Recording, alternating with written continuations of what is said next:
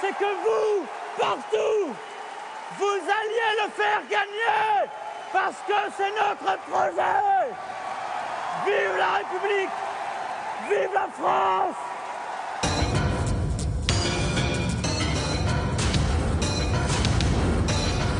Tous les jours, on reçoit des, chèques. Depuis le lancement du mouvement En Marche, on a, collecté 3 600 000 euros.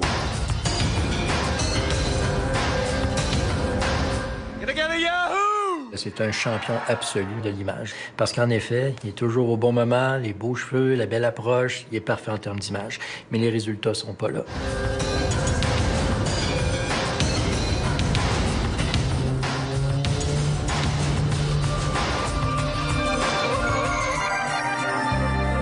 Bonsoir et bienvenue dans ce nouveau numéro de complément d'enquête. Jeune loup et vieille recette. Il était encore quasiment inconnu il y a deux ans et demi et le voici déjà troisième homme dans les sondages d'intention de vote. C'est le parcours d'une météorite qu'on va vous raconter, d'un jeune homme pressé qui va très très vite mais qui a aussi l'image de Brutus, de celui qui a trahi François Hollande. Comment fonctionne la machine Macron? À quoi ressemble vraiment son mouvement en marche? D'où viennent les financements? Nous allons ce soir répondre à toutes ces questions. Et puis on va vous faire découvrir un autre jeune homme pressé, un autre beau gosse, un autre roi de la com, le Premier ministre canadien Justin Trudeau. Ça vaut le détour, vous allez voir. Pour parler de ces deux parcours, nous sommes venus ici à la mutualité la plus politique des salles parisiennes. Dans les fauteuils rouges, nous serons tout à l'heure avec le rédacteur en chef du service politique de Paris Match, puis avec la très discrète Anomel, la reine de la communication politique qui a notamment conseillé DSK. Mais tout de suite, les secrets de la machine Macron. C'est une enquête de Baptiste Desmontiers, Guillaume Marc et Virginie Le Tendre. Samedi 10 décembre, parc des expositions à Paris. Entrée en scène dans 30 secondes. Ça va? Emmanuel Macron savoure. Ça va? Vous allez bien? Très bien. Confiant Heureux. Il s'apprête à vivre un moment inoubliable de sa campagne. C'est parti.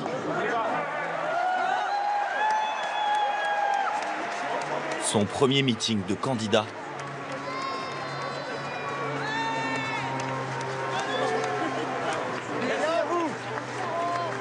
devant 12 000 militants chauffés à blanc.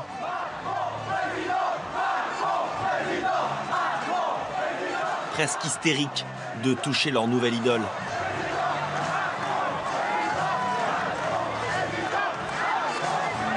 Ce soir-là, c'est une révélation. Pourtant, il y a quatre ans, ce trentenaire était un parfait inconnu. Comment Emmanuel Macron, jamais élu, a-t-il réussi en quelques mois à se tailler un costume de présidentiable et à créer un mouvement qui rassemblerait 120 000 adhérents Nous sommes allés rencontrer ces militants qui planchent sur son programme politique. Avons visité les coulisses de son parti aux allures de start-up. Levé le voile sur son financement.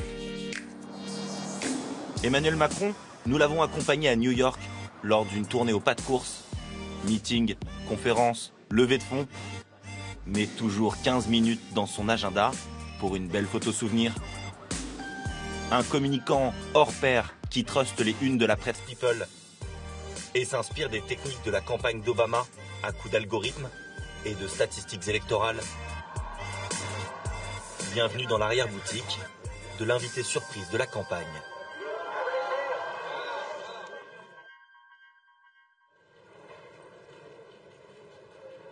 Le principal défi d'Emmanuel Macron, faire connaître son mouvement En Marche, créé il y a seulement dix mois.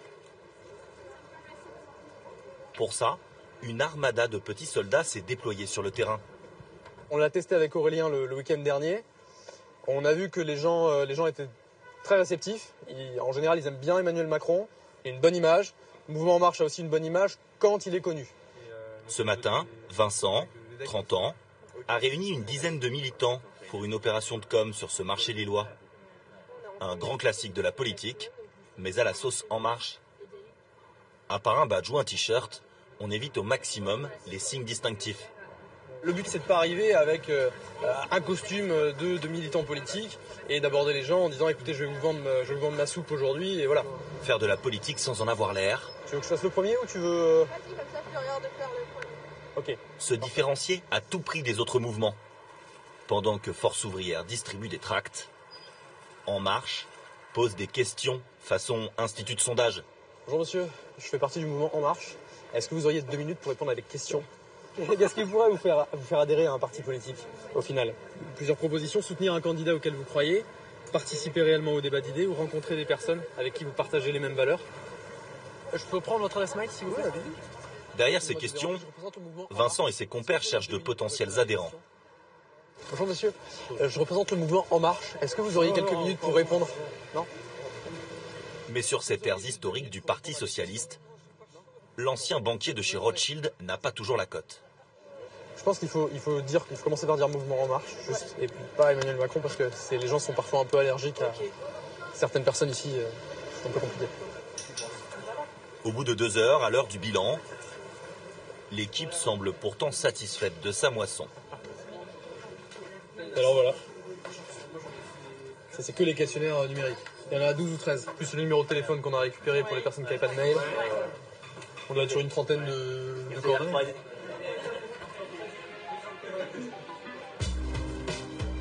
« 30 adhérents potentiels que Vincent tentera de faire venir dans l'une des réunions du mouvement.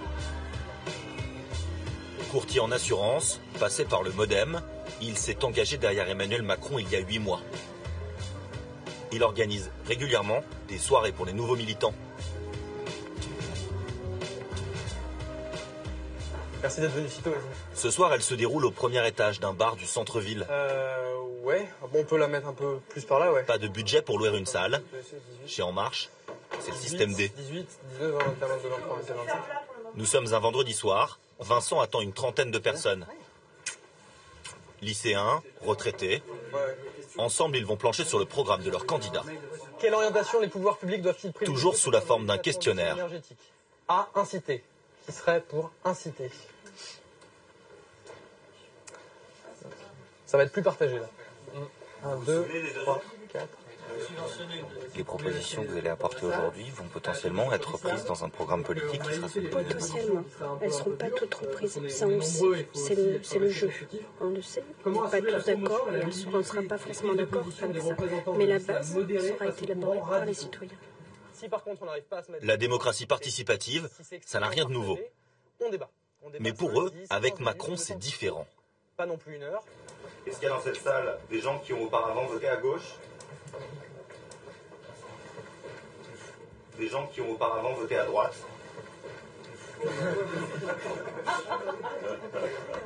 Je suis retraité, je n'ai jamais adhéré à aucun parti politique.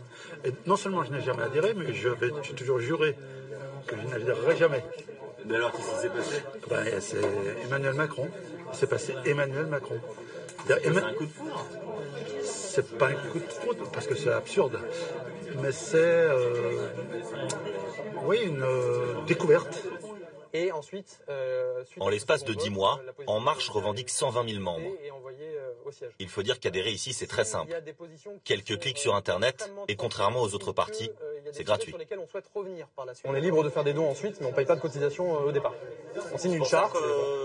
C'est peut-être pour ça que ça marche, hein C'est une des, une des raisons qui font, qui font que ça marche, ouais. Même ce que Emmanuel Macron. Les militants sont même incités à travailler pendant les vacances. Je vous invite à mettre le bouquin de, Macron au pied du sapin, à l'acheter. euh, parce que, alors, non mais plus, sérieusement, je pense que les, une partie des élections présidentielles se gagne pendant les repas de famille à Noël et au Nouvel An. On va faire des travaux de vulgarisation avant les fêtes pour savoir en parler aussi pendant les repas parce que je pense que parfois une élection peut se gagner là-dessus. Merci à tous. N'oubliez pas de régler tous votre consommation en partant. hein. On n'a pas le droit de prendre. Quelques jours plus tard, les adhérents recevront tous cet email. Un argumentaire spécial bûche de Noël, en 5 points, pour animer les repas de famille durant les fêtes. Une communication qui s'adresse tout particulièrement aux jeunes militants du mouvement. Pour Jérôme Batou, ancien conseiller d'hommes politiques de gauche, c'est une stratégie extrêmement efficace. Et que donc, en fait, n'importe quel de ces gestes euh, attire de la lumière. Quand vous êtes capable de parler aux jeunes dans une société contemporaine, vous parlez ensuite à travers eux à toute la société. Que ceux qui font la conversation, c'est les jeunes. Mais c'est pas du tout impossible que euh, dans les familles aussi, euh, les jeunes fassent bien comprendre à leurs euh, parents que voilà, d'être pour tel, tel, ou tel candidat ou tel ou tel parti, en fait, c'est un peu vieillot, c'est un peu ringard. Ça s'est vu à d'autres moments. Ça s'est vu évidemment en 2008 au moment de l'émergence 2007-2008 au moment de l'émergence brutale de Barack Obama aux États-Unis, où tout à coup il y a eu un aspect de presque de cool d'être autour de ce, candidat qui sortait nulle part. Tout est dit. La jeunesse, l'une des clés de voûte du système Macron. À Paris, dans le 15e arrondissement, son QG a des allures de start-up. Moyenne d'âge 25 ans. Certains travaillaient déjà à ses côtés à Bercy. D'autres, comme Victor, 22 ans, viennent tout juste d'arriver. Fraîchement diplômé de Sciences Po, il compile les fameux questionnaires des comités locaux. Et donc là, par exemple, on peut voir pour un questionnaire donné toutes les réponses qui sont, euh, qui sont sorties. Dans toute la France Ouais, exactement. Les réponses des adhérents remontent jusqu'aux oreilles du boss et de sa garde rapprochée, située un étage au-dessus. C'est plutôt le déjeuner avec lui en arrivant. Je pars derrière à la mairie de Cayenne. Ce jour-là, il travaille sur un prochain voyage en Guyane. Depuis un mois, le patron enchaîne les déplacements en France et à l'étranger. Pendant qu'au QG, on se serre la ceinture. Sur 30 personnes, seuls 10 sont salariés. Ici, chaque sou est un sou. Le parti fonctionne uniquement grâce aux dons. Ok, donc ça c'est l'échec à signer que tu as reçu, ce que tu as reçu aujourd'hui? Même Christian Darnia est bénévole. Ancien directeur d'une banque de gestion d'actifs, il gère désormais les finances du mouvement. tous les jours, on reçoit des, chèques, on va chercher les chèques euh, à la poste. Et bah, la, première étape, c'est effectivement de regarder si les chèques sont bien euh, au bon ordre. C'est effectivement de les, contresigner. Depuis le lancement du mouvement En Marche, on a, collecté 3 600 000 euros. Le don moyen est de 100 euros les partis peuvent dépenser jusqu'à 18 millions d'euros pour le premier tour. Autant dire que le trésorier a encore un peu de travail. 30% des dons sont inférieurs à 30 euros. 60% des dons inférieurs à 60 euros. Et vous avez 3% des dons qui sont supérieurs à 3000 euros. C'est ça l'ordre de grandeur. D'accord.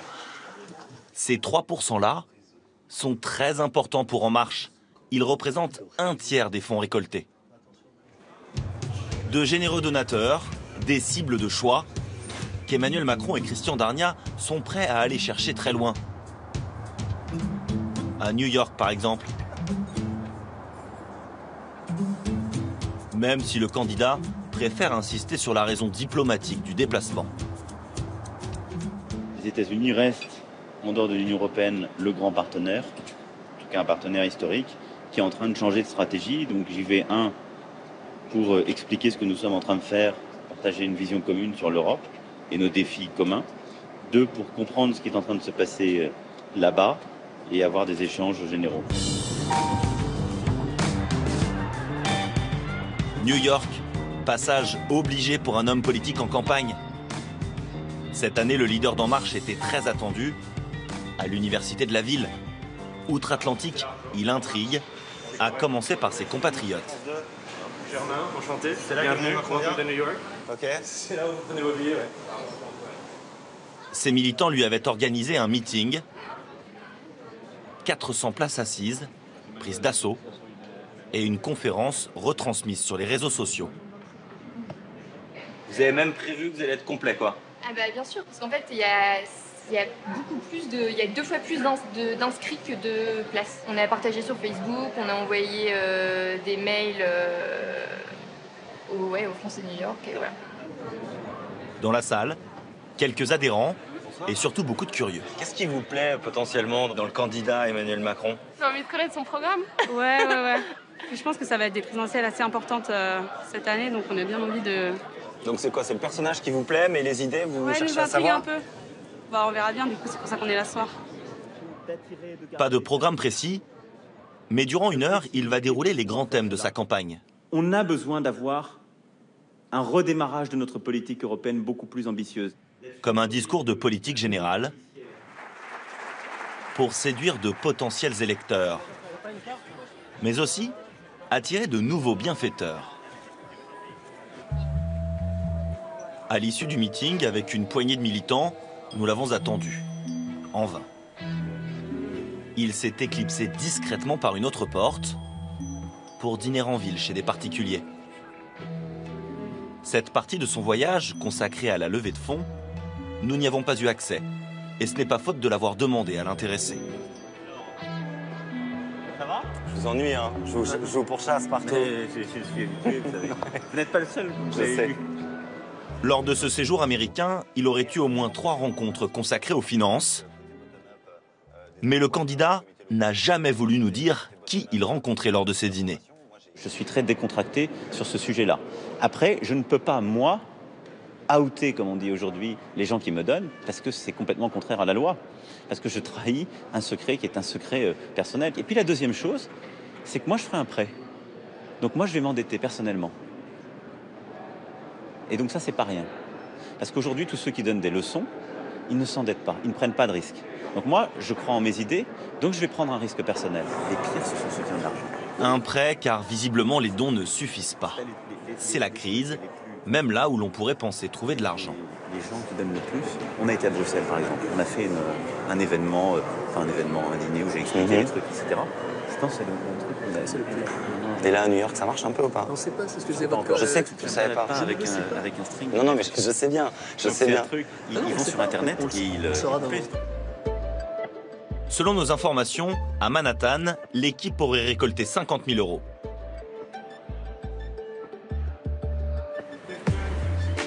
Mais Emmanuel Macron est aussi venu ici pour s'offrir une image d'homme d'État. Un homme à la stature internationale, s'invitant chez CNN, dans le show de l'éditorialiste Farid Zakaria. Cette semaine, j'ai eu l'opportunité de rencontrer Emmanuel Macron. Il est candidat aux prochaines élections présidentielles en France. Emmanuel Macron, c'est un plaisir de vous recevoir. Cinq minutes d'interview et comme premier sujet, l'élection d'un homme qui, lui, a réussi à créer la surprise. I think Mr. Trump was extremely smart to, to play with emotion, guts of, of, your people. And, and that's the first point. Second, it was disruptive in a certain way vis-à-vis the rest of the system, and people loved that because now they are fed up with the political system. Lui, qui se verrait bien en perturbateur du système politique français, est aussi allé délivrer son message au New York Times et au Wall Street Journal, avant de s'afficher aux côtés de Joseph Stiglitz, prix Nobel d'économie. Je ne savais pas qu'il y avait autant de journalistes français à New York. Allez-y. Allez-y. Cette fois, devant un parterre de journalistes français. Une belle image pour le candidat. Monsieur Stiglitz. Uh, comment Monsieur. Macron s'est arrangé pour organiser cet entretien avec vous aujourd'hui Je n'en sais rien. C'est ma femme. Elle fait toujours des choses mystérieuses. Vous ne vous connaissez pas Non. Vous êtes jamais rencontrés before. Et vous avez passé un coup de téléphone à sa femme Non, non, non.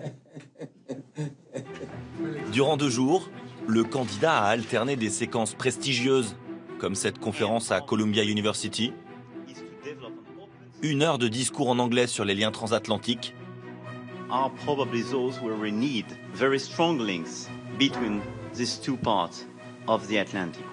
et séquences de pure communication. La rose blanche, déposée sur le mémorial du 11 septembre, un incontournable. Quant à la visite dans une école d'Harlem, c'est mignon. Ok. Keep cool. Les enfants, ça fait toujours de belles images.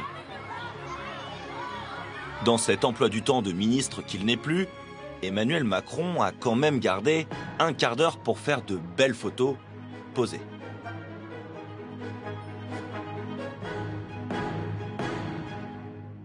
Pour une partie de la presse française, il est ce qu'on appelle un bon client.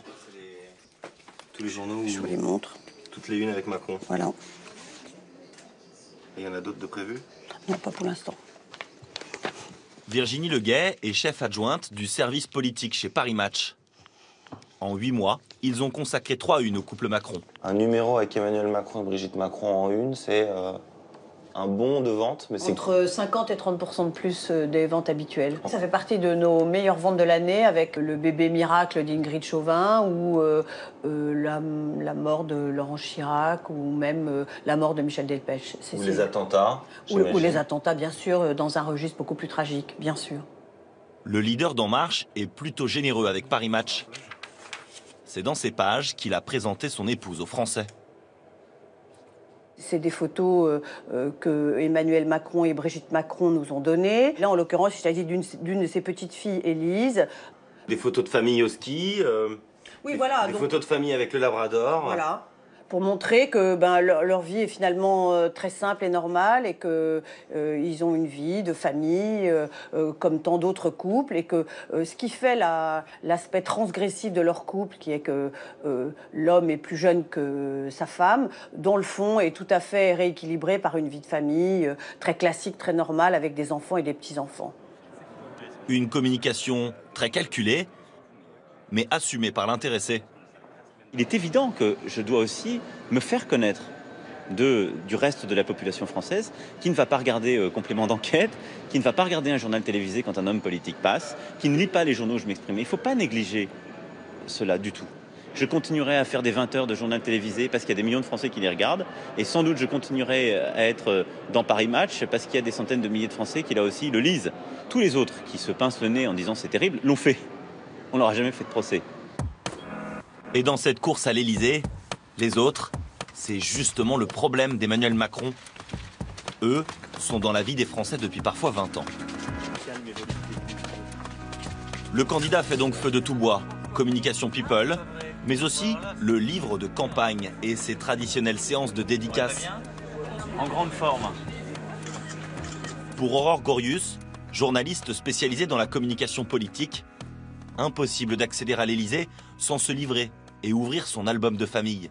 Toute candidature à une présidentielle, c'est une candidature euh, qui euh, implique de se présenter euh, un peu à la façon d'un monarque, hein, c'est quelque chose de très monarchique, de se présenter aux Français, de présenter sa famille, de présenter son parcours. Il faut être dans un récit personnel, dans une sorte de storytelling. Lui, Emmanuel Macron, euh, il est arrivé à Bercy en 2014. euh, pour se présenter, il n'a eu que quelques mois. Donc, euh, il fait le travail de, de, communication personnelle en quelques mois, là où les, les, les autres, d'autres candidats l'ont fait sur des années. Pour rattraper son retard, le Benjamin de la course mise aussi sur des techniques inspirées de la campagne de Barack Obama. Début de l'été dernier, il lance son mouvement et occupe le terrain médiatique avec ses marcheurs. Bonjour madame. Bonjour. C'est Thibaut. En fait, je suis euh, un citoyen qui me suis engagé dans le mouvement En Marche. On va d'abord vous demander qu'est-ce qui marche en France? Un peu plus qu'un simple porte-à-porte. Derrière cette opération, une start-up, machine à faire gagner des voix. Les candidats, on voulait bien vous voir. Nichée dans une arrière-cour du 11e arrondissement à Paris, la société LMP, comme Liéger, Muller, Ponce, du nom de ses trois fondateurs, des trentenaires, spécialistes de la stratégie électorale. Et en fait, j'aimerais dire qu'on n'a pas du tout parlé du call euh, que la semaine dernière, euh, mercredi, sur la première session de porte-à-porte de nos amis. Inconnue du grand public, la start-up a pourtant de sacrées références. Il paraît que c'est vous qui avez fait gagner Hollande. Alors, c'est, j'aimerais, en fait, c'est 25% grâce à nous. Donc, on a, on a, on a évalué euh, l'impact de la campagne de Hollande. C'est mon associé Vincent, celui qui est prof à Harvard, qui a, qui a mis en place le petit protocole expérimental pour mesurer ça. Et on a, en effet, enfin, nous euh, et les 80 000 volontaires qui ont frappé aux portes, à 5 millions de portes, ont permis d'augmenter le score de Hollande d'environ 3 points. Ça fait euh, euh, un peu plus de 250 000 voix euh, en plus. Leur promesse? Vous dire où habitent au quartier près les électeurs susceptibles de voter pour vous. Pour en arriver là, ils recoupent les données du recensement avec celles de chaque bureau de vote en France. Il y a des bureaux de vote qui passent de bleu à rose et de rose à bleu. Donc ça, c'est les bureaux de vote où il y a eu du changement. Donc ça veut dire que c'est intéressant de les regarder. Ils ont modélisé une carte de France et sont capables de dire où il faut aller prospecter en priorité. À partir d'un algorithme qu'on a développé, qu'on a mis à jour de maintes et maintes fois, on est capable de dire bureau de vote par bureau de vote, quel est le réservoir de voix à aller chercher. Donc ça, c'est pas quelque chose que tu peux deviner, c'est pas intuitif. Notre modèle, il peut te trouver, si tu es de gauche, un bureau de vote à Neuilly où tu vas aller gagner des voix. Si tu es de droite, on peut te trouver un bureau de vote à Montreuil où tu vas aller gagner des voix. Ils fournissent même une feuille de route aux militants, leur indiquant à quelle porte aller frapper. Tu vas pouvoir envoyer, enfin, qui va être envoyé en fait automatiquement à tes volontaires. Quelques milliers de voix supplémentaires. Dans cette élection, peut-être la clé du second tour. Pour l'instant, Emmanuel Macron n'est pas qualifié. Mais il a montré les muscles début décembre lors de son premier meeting. Pour son porte-parole, la preuve que la stratégie commence à fonctionner. C'est la première fois qu'il va s'adresser aux milliers d'adhérents. Tout le monde nous dit qu'ils sont virtuels, qu'ils sont sur Facebook, sur les réseaux sociaux, mais qu'ils n'existent pas. Donc je pense que là, la démonstration euh, sera celle d'un mouvement avec euh, des milliers de personnes. De ce rassemblement, une image a crevé l'écran. Ce que je veux, c'est que vous, partout, vous alliez le faire gagner, parce que c'est notre projet. Celle d'un Emmanuel Macron survolté. Vive la France Comme transcendé. Bien loin du contrôle auquel il nous avait habitués. Ça faisait longtemps qu'on n'avait pas vu en politique quelqu'un arriver euh, là euh, au charbon en manifestant une, vraie joie à faire de la politique, un vrai, euh, un vrai plaisir. Et la question fondamentale, c'est est, est-ce que c'est vrai, est-ce que c'est un moment vrai ou est-ce que c'est un moment faux? Et la part de, de débordement et d'éléments complètement incontrôlés donne l'impression en effet d'un moment assez vrai. Quelques jours après ce meeting, un sondage le classait pour la première fois personnalité politique préférée des Français. Mais pour la cofondatrice de l'Institut de sondage, la présidentielle est encore loin. Emmanuel Macron, il a quelque chose de séduisant. Parce que son positionnement, ni de gauche, ni de droite, etc., ça parle à plein de monde. Sauf qu'en vérité, les gens se sentent quand même souvent proches d'un parti politique et au moment de l'élection bah, vont voter pour l'homme qui est dans ce parti politique. Une forte cote de popularité euh, surtout longtemps avant l'élection, ne garantit absolument pas de transformer ça au moment de l'élection. Il reste encore de nombreuses marches à gravir avant l'Elysée. Mais pour l'instant, tout se passe comme prévu. Pour celui qui semblerait presque étonné de son propre succès.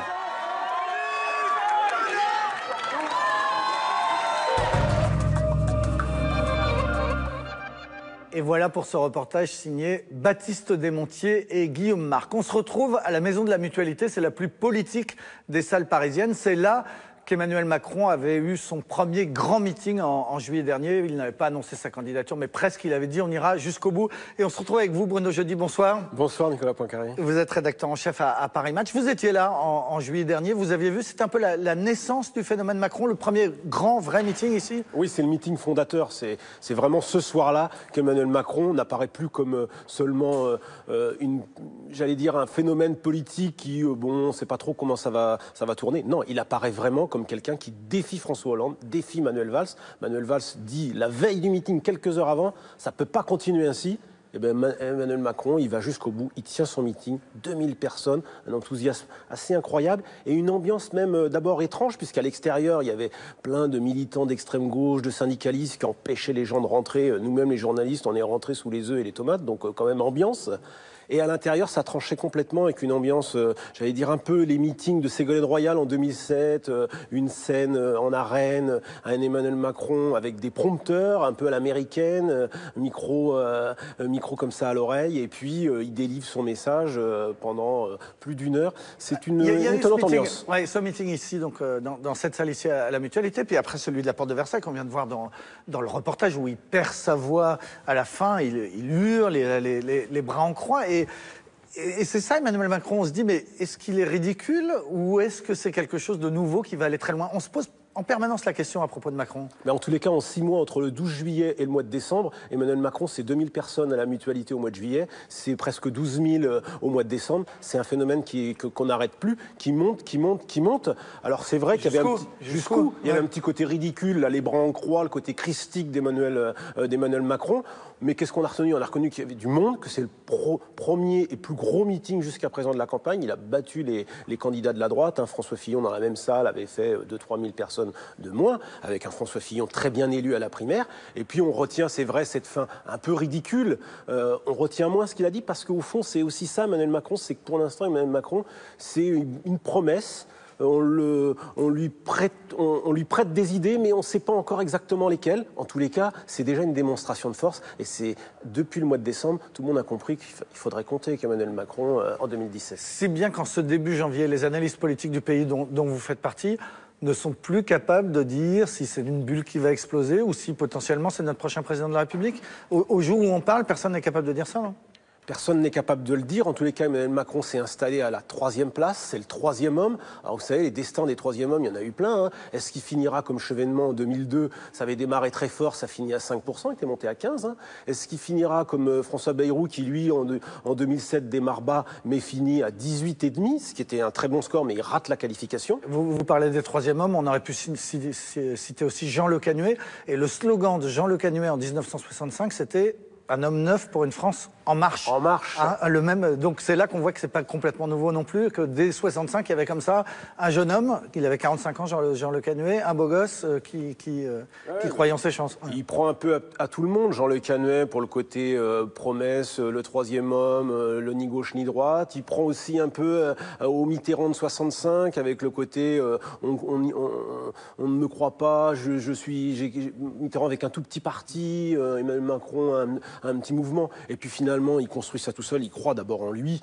Euh, Emmanuel Macron, c'est une trajectoire, une trajectoire un peu à l'américaine de quelqu'un qui, euh, il y a un an, euh, n'était rien et qui, un an plus tard, a un véritable mouvement, a créé un mouvement d'opinion. Alors, on l'a vu dans le reportage entre votre journal, Paris Match, et Emmanuel Macron, il y a toute une histoire quand même. Trois une en six mois, c'est énorme. Oui, c'est énorme. Euh, euh, c'est le journal des Français. Ça fait 70 ans qu'on fait de la politique euh, et qu'on s'intéresse aux, acteurs de l'histoire politique. Et on s'est aperçu très vite. Honnêtement, la première fois, c'était un peu. euh, on avait envie de s'intéresser à Emmanuel Macron. Bon, il y a une rencontre, euh, Brigitte Macron, avec notre consoeur Caroline Pigozzi. On- on monte ce dossier. Il y a un papier politique, il y a un papier sur leur histoire. Et puis, la surprise, c'est que ça marche. Euh, ça que Vous avez fait de très bonnes ventes. on fait notre- quasiment notre meilleure vente de l'année et surtout, on manque de, de papier, comme on dit dans le métier, hein, c'est-à-dire qu'en fait, euh, on avait un peu sous-estimé le phénomène, euh, le phénomène Macron. Donc la première couverture est une couverture qui marche partout en province. Et en fait, on voit que pour le coup, si ça marche à la une de match, ça veut dire que ça résonne dans le pays. Et au fond, voilà. Donc on, Mais surtout, on- il accepte- on capte ça. Si vous voulez, je pense que euh, au-delà de la couverture de, de- de Paris Match, on capte ce, on capte ce, ce- ce- ce- ce sentiment peut-être dans le pays et euh, il, a, il a compris qu'avec Match, c'était aussi un élément qui euh, lui permettait d'accélérer sa, sa notoriété. Alors vous, en- je me souviens qu'en 2007, vous aviez couvert la campagne de Nicolas Sarkozy, qui était déjà un grand euh, communicant, qui était aussi allé à, à l'énergie, comme ça, en jouant sur sa jeunesse et, et- et sur sa pêche. Est-ce qu'il vous fait penser aussi un peu Macron au, au Premier ministre canadien? Parce qu'on va en parler dans un instant, euh, Justin Trudeau. C'est vrai qu'il y a un petit peu de ça, et puis casse les codes. Casse les codes. Justin Trudeau, c'est quelqu'un qui casse les codes. Alors, je ne sais pas si on verra Emmanuel Macron euh, en, boxeur euh, contraindre ses adversaires politiques comme il a pu le faire. Euh, je crois pas. Euh, mais il casse les codes à sa façon, Macron. On l'a bien vu dans votre, dans votre reportage. C'est tout à fait nouveau. Quelque part, il casse aussi les codes comme Nicolas Sarkozy les avait cassés en 2007. hein. La rupture avec Chirac, euh, Hollande, euh, Macron, il fait aussi sa rupture avec, euh, avec Hollande. Au début, on n'y croit pas trop. D'ailleurs, Hollande ne, le voit pas venir. Et puis finalement, voilà, il, passe de, de, ministre à adversaire politique. La vérité, c'est que Emmanuel Macron, il a fait l'analyse sans doute avant tout le monde un, que François Hollande ne serait pas candidat, deux, que le Parti socialiste s'étriperait dans une primaire compliquée, euh, et trois, que la droite euh, n'aurait pas euh, peut-être un, candidat centriste du type Alain Juppé, mais un candidat de droite dure. Alors il n'a peut-être pas imaginé François Fillon, mais c'est vrai que du coup ça ouvre un espace central, et Macron pense qu'il a sa chance avec. et pour l'instant, il faut reconnaître que on va voir ce qui va se passer à la primaire de la gauche, mais ça se passe plutôt comme il avait prévu.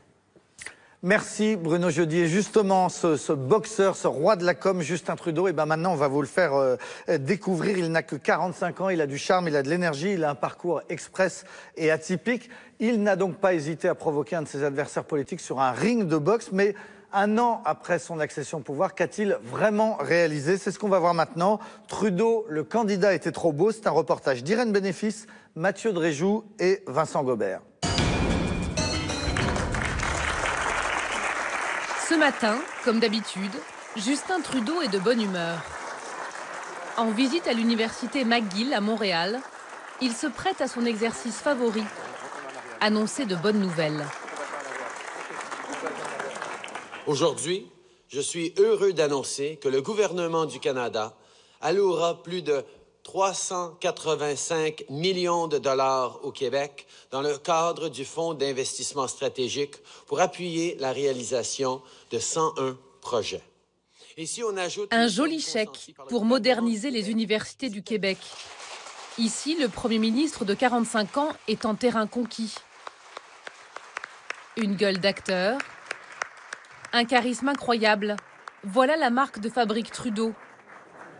Des selfies en pagaille. Merci beaucoup. Merci, quel plaisir. Merci beaucoup. Un petit mot pour chacun. On se voit bientôt. Hein. Dans le public, le charme opère à chaque fois. Merci pour votre annonce, la recherche. Ah, On va se le dire, mais il est très beau. On va se le cacher. Ça fait chic d'avoir un selfie avec le Premier ministre. Non, c'est quand même très bien. J'adore ça. Ouais. Qu'est-ce que vous pensez de, de lui? Euh, ben, je trouve que c'est un homme euh, très formidable. Ben, il y a beaucoup de. Ben, c'est un premier ministre, mais il est très proche euh, du peuple, je trouve, ben, des gens. Alors que le monde s'enfonce dans la peur, le repli sur soi, Trudeau, c'est la politique du bonheur, de l'optimisme. Le monde d'aujourd'hui est vraiment rongé par le populisme, la hausse du protectionnisme, le Premier ministre est l'exemple éclatant que le Canada peut au contraire être un pays ouvert, qui réunit les gens. Ce sont vraiment ses valeurs. Justin Trudeau, un beau gosse qui s'est hissé en quelques années à peine au plus haut sommet de l'État. En 2015, son parti libéral de centre-gauche remporte les élections par surprise. Après dix ans de gouvernement conservateur, ce sont les libéraux qui l'emportent. Ce soir, Justin Trudeau a obtenu la majorité. Un vent nouveau souffle sur le Canada. Fini l'austérité, la rigueur budgétaire. Trudeau promet la relance par l'investissement, des emplois pour la classe moyenne et le bonheur pour tous. Nous combattons la peur par l'espoir. Nous combattons le cynisme par le travail. Nous combattons la politique négative qui nous divise par un projet positif qui rassemble tous les Canadiens. Une nouvelle génération prend le pouvoir. Le Premier ministre compose un gouvernement jeune, paritaire, multiculturel. Trudeau a le sens du casting et de la mise en scène. Il est même redoutable en la matière. Que ce soit en boxeur prêt au combat, en défenseur de la cause gay,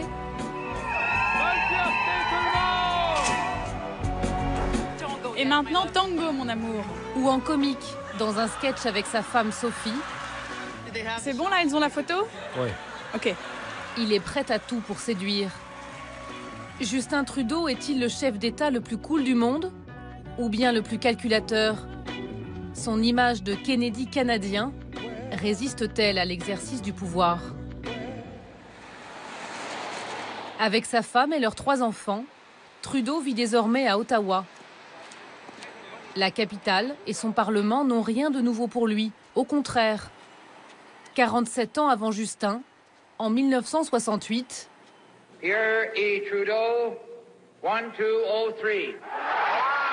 C'est son père, Pierre Elliott Trudeau, qui devenait Premier ministre.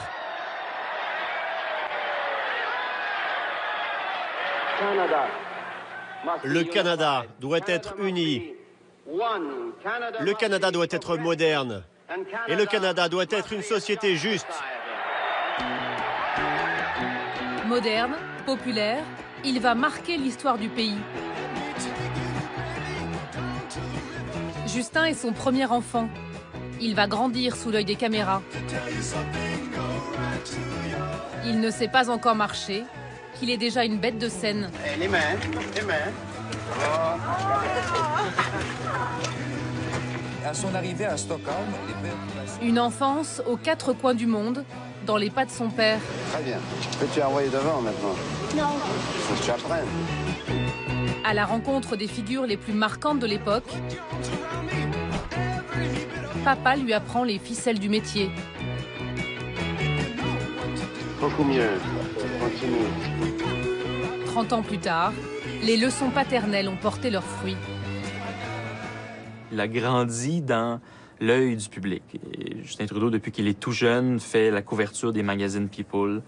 Euh, Quelqu'un qui est euh, assez charismatique, paraît bien, bonne image. Et les Canadiens ont l'impression de le connaître depuis toujours. Le brand Trudeau, l'image de marque Justin Trudeau, elle existait déjà. Pour un politicien, c'est un énorme avantage que de ne pas avoir à construire son image. Elle était faite depuis très longtemps. Pourtant, la politique, Justin Trudeau va d'abord lui tourner le dos. Après des études peu poussées, il devient professeur de français et de théâtre, mais jette l'éponge au bout de trois ans. On le retrouve moniteur de ski, président d'une association pour les jeunes, et même acteur dans un téléfilm historique. Justin Trudeau se cherche. Bien le bonsoir tout le monde, 18h30, bienvenue. Il s'essaie aussi à la radio. Et là, c'est un déclic. À l'époque, Mario Langlois l'embauche dans son émission matinale Bonjour Montréal, comme chroniqueur. Il a 33 ans. On était tous intrigués de savoir ce qu'il avait dans le ventre, je pense. C'était c'était ça, parce que pour nous, c'était une expérience de savoir.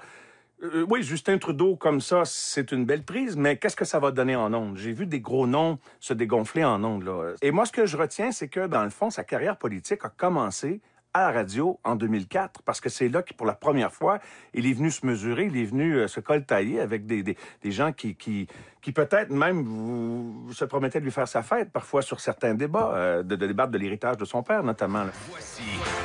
En studio, pour la première fois, Trudeau donne son avis, teste ses convictions à l'antenne. C'est là qu'il prend goût au débat public. Bonjour et bienvenue sur le site de l'Association fédérale libérale du comté de Papineau. Il se lance officiellement en politique en 2007. Il veut devenir député. Ceci est mon site internet et je suis votre candidat. Il y a un nouveau Trudeau dans cette élection. Et oui, Justin Trudeau, le fils de l'ancien Premier ministre. Encore un peu gauche, Justin Trudeau fait son entrée au Parlement. C'était pas un porte-parole euh, majeur euh, au sein du Parti libéral. On lui avait donné des dossiers assez mineurs. Il est en train de faire ses classes, d'apprendre le métier de politicien. Euh, Beaucoup le considèrent encore comme un simple fils à papa. Alors pour se faire un prénom, le député Trudeau va imaginer un incroyable coup de com'. Et dans le coin rouge, merci d'accueillir Justin Trudeau. En 2012, il organise un match de boxe au profit d'une association caritative. Il a choisi son adversaire, un sénateur de droite, beaucoup plus baraqué que lui.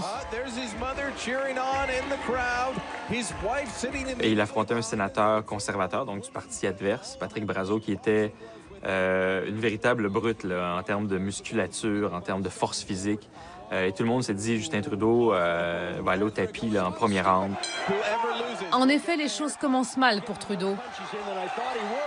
En direct à la télé, il est roué de coups par son adversaire, sous les yeux de sa mère. Les commentateurs s'en donnent à cœur joie. Regardez-moi ce joli visage. Non, ne lui abîme pas son joli visage, je veux pas voir cette jolie bouche saignée. À la fin du premier round, le match semble plié. Sauf pour Ali Nestor, son entraîneur de l'époque. Après le premier round, Justin est venu s'asseoir au coin et me l'a dit qu'il frappait fort. Mais il l'a dit avec un sourire parce qu'en même temps, il avait vu qu'il était capable de tout prendre. Et je me suis déplacé, je lui ai dit de regarder de l'autre côté, de quoi qu'il avait de là, Brazo. Il était complètement exténué d'avoir tout donné. Justin Trudeau en profite pour reprendre l'avantage.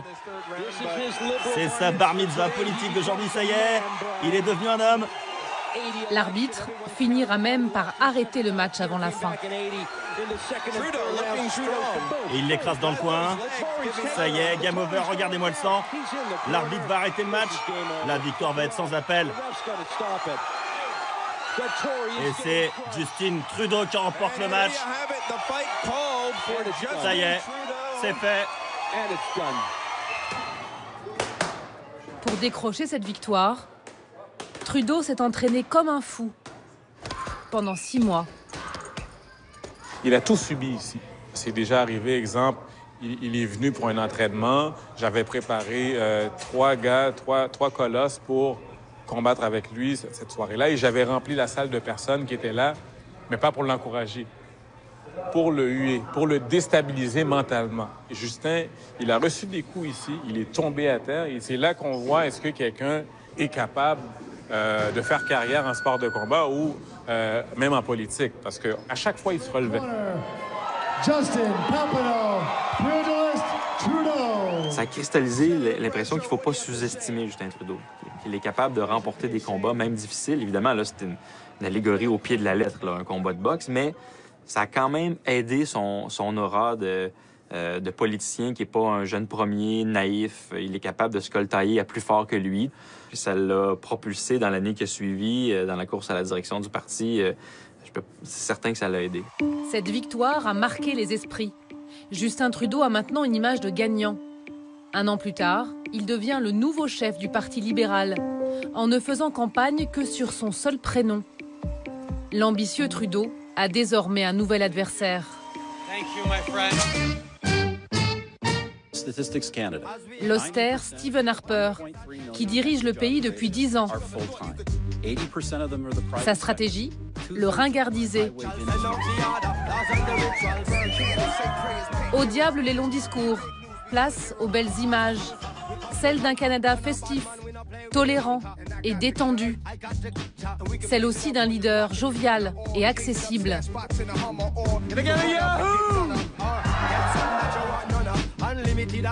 Ce personnage de bon copain, à l'aise avec tout le monde, c'est du grand art pour se conseiller en communication politique. Il n'y a rien de spontané là-dedans. Voyez, son entourage, on a mélangé les genres de personnes. On a le drapeau, qui est un drapeau qui a été fait spécialement pour, la les circonstances. La chemise rose a été, a été voulue.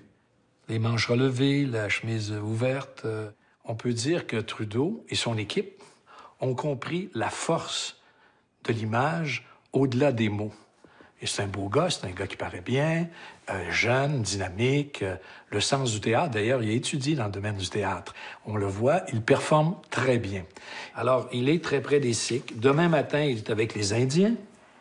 Il peut être aussi avec les musulmans, avec les juifs. Il y a une identification que beaucoup d'hommes politiques, de femmes politiques essaient, mais sans, sans réussir, parce qu'ils ont de l'air parfois ridicules avec un chapeau de cow-boy ou un chapeau sikh ou euh, en jogging. Pas Trudeau.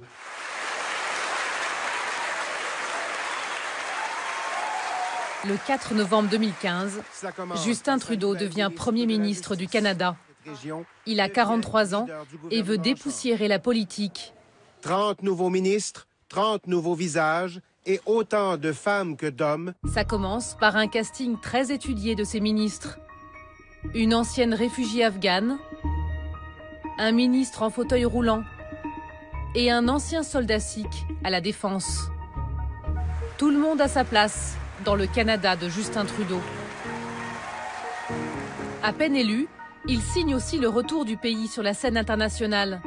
Sa première sortie est consacrée aux 25 000 réfugiés syriens qu'il s'est engagé à accueillir. Voici quelques affaires pour vous. Ça va? Tu aimes le rose? À Paris, pendant la COP 21, il se pose ensuite en champion de l'environnement. Canada is back, my good friends. Thank you. Thank you very much, Your Excellency. Mais un an plus tard, la magie Trudeau commence à se dissiper. À quelques kilomètres de Vancouver, la petite ville de Fort Langley. Ici, nous sommes sur le territoire de la tribu indienne Kwantlen. Ce dimanche de décembre, ils sont une petite centaine à s'être rassemblés en signe de protestation. Notre heure est venue. C'est notre combat. Cette fois, nous n'allons pas les laisser construire ce pipeline. Moi, je vous dis, quand vous rentrerez chez vous ce soir, dites aux membres de votre famille de ne pas voter pour les libéraux la prochaine fois. Soutenus par des militants écologistes, les Indiens dénoncent un projet de pipeline de la compagnie américaine Kinder Morgan, auquel Justin Trudeau vient de donner son feu vert. L'entreprise en possède déjà un sous terre, mais pour tripler sa production de pétrole, elle veut en construire un nouveau. Cela ferait passer le trafic des pétroliers dans la baie de 5 à plus de 30 par mois. Les risques de pollution sont énormes pour Kay, militant d'une ONG locale. Bienvenue dans le magnifique quartier général de Dogwood Initiative. Depuis trois ans, il se bat à coups de manifestations et de pétitions pour que ce projet ne voit jamais le jour. On a récolté plus de 260 000 signatures dans la province ces dernières années. Il y a peu, Justin Trudeau était considéré comme un allié ici. Pendant la campagne, Kay l'avait interpellé. Le candidat lui avait laissé entendre qu'il était contre le pipeline, comme le montre cette vidéo.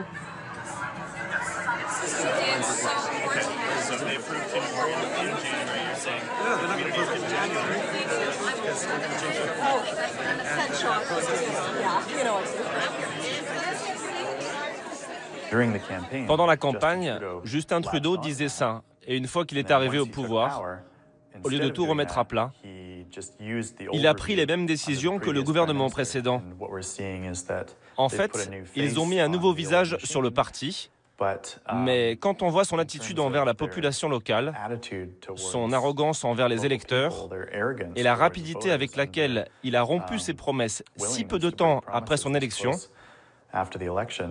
malheureusement, on voit que c'est toujours la même vieille politique depuis des générations. Trudeau, lui, préfère mettre en avant les 1500 emplois que le projet pourrait créer. Mais la lune de miel avec les Canadiens semble terminée.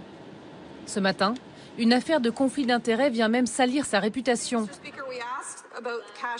Le Premier ministre aurait accepté de dîner avec de riches investisseurs chinois en échange de dons à son parti. Il est obligé de s'expliquer au Parlement. Les conservateurs jubilent. C'est le faux pas dont il rêvait depuis son élection. J'ai vu des photos plus élogieuses que ça de, M. Trudeau. C'est évident qu'après un an de, pouvoir, euh, disons qu'il y a des boutons qui commencent à sortir sur le visage. Il confirme ce que nous disions en Chambre depuis des semaines et des semaines, c'est qu'il discute des affaires de l'État lorsqu'il fait du financement de partis politiques, lorsqu'il invite des gens à ses activités de financement, triés sur le volet, leur demande une somme d'argent substantielle, en fait le maximum auquel la loi le permet, et il discute d'affaires de l'État, ce qui va à l'encontre des règles que lui-même impose à ses ministres et donc à lui-même. Une controverse qui a fait chuter le Premier ministre dans les sondages. Pour la première fois, Trudeau semble vulnérable. C'est un champion absolu, un champion mondial de l'image. Je ne lui donnerai pas 10 sur 10, je lui donnerai 12 sur 10. Parce qu'en effet, il est toujours au bon moment, les beaux cheveux, la belle approche, il est parfait en termes d'image. Mais les résultats sont pas là. Quand on exerce le métier de politique, on exerce des choix. Et on fait des choix qui parfois peuvent plaire, parfois peuvent déplaire, mais il faut être conséquent et cohérent. Et dans le cas présent, M. Trudeau a promis mer et monde à la planète entière. Et évidemment, la, la réalité le rattrape. Quartier populaire de Saint-Michel, à Montréal, le fief de Justin Trudeau. Quand il est fatigué de prendre des coups, c'est dans la salle de boxe d'Ali qu'il vient se défouler. Ici, tout le monde l'adore. C'est la photo qu'on a prise avec le Premier ministre. C'est à peu près, à peu près un mois et demi. C'est vraiment un honneur pour nous autres qui, qui viennent s'entraîner ici, malgré toutes ces tâches, toutes ces occupations. Le Premier ministre, d'habitude, on bloque les quartiers quand il vient quelque part, mais lui, vraiment, c'est pas son style. C'est vraiment quelqu'un qui est proche du monde. On l'aime beaucoup. Dans la salle, ces jeunes Canadiens s'intéressent peu à la politique, mais ils connaissent bien le boxeur Trudeau. Ils savent que l'homme s'est encaissé et qu'il n'est jamais aussi bon que quand il est attaqué.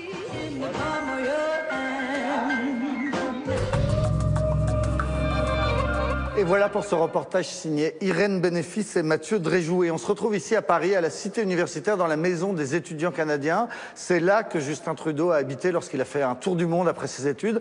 Et son propre père, qui allait lui aussi devenir Premier ministre, eh bien, lui aussi, il est venu habiter euh, dans cette maison des étudiants canadiens à Paris pendant un, vaste tour du monde. Et on se retrouve avec vous, Anne Bonsoir. Bonsoir. Et merci de nous rejoindre ici parce qu'on sait que vous n'aimez pas beaucoup être de ce côté-là de la caméra. Vous êtes plutôt derrière, dans l'ombre habituellement. En effet.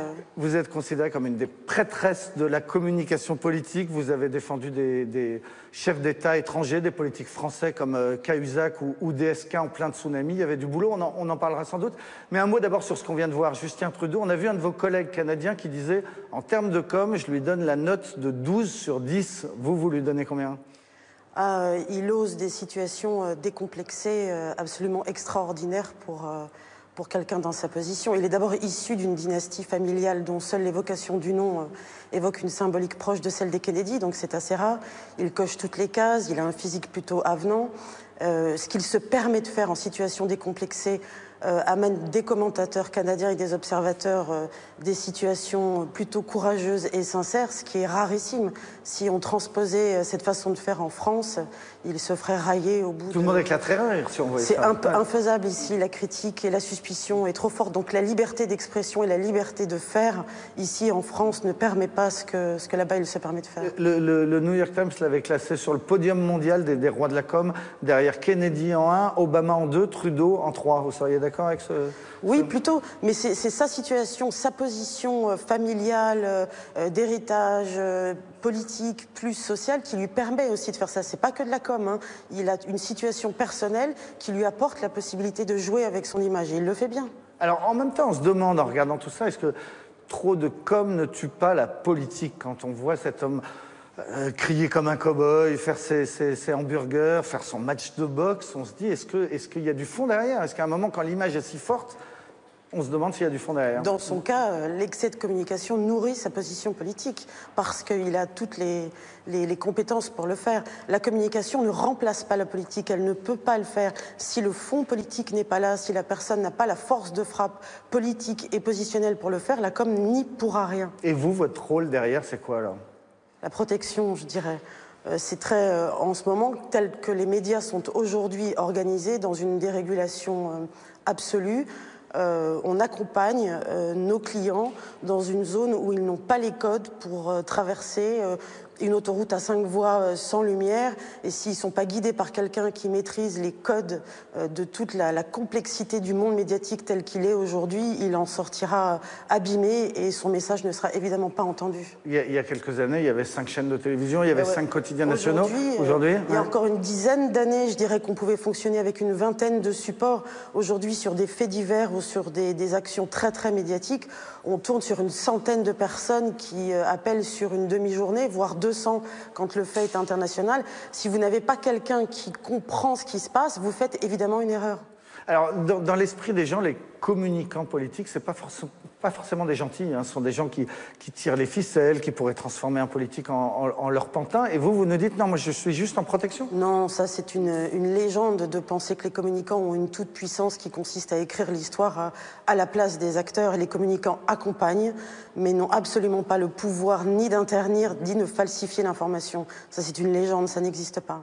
Ouais. Et alors, on a vu, vous avez été en première ligne dans des événements considérables en matière de, de crise politique. Je pense à Charlie Hebdo. Oui. C'était il y a tout juste euh, deux, ans. deux, ans. Donc, cet attentat est derrière les médias du monde entier qui veulent interviewer Riss, le, le directeur, oui. et les, les, autres euh, survivants.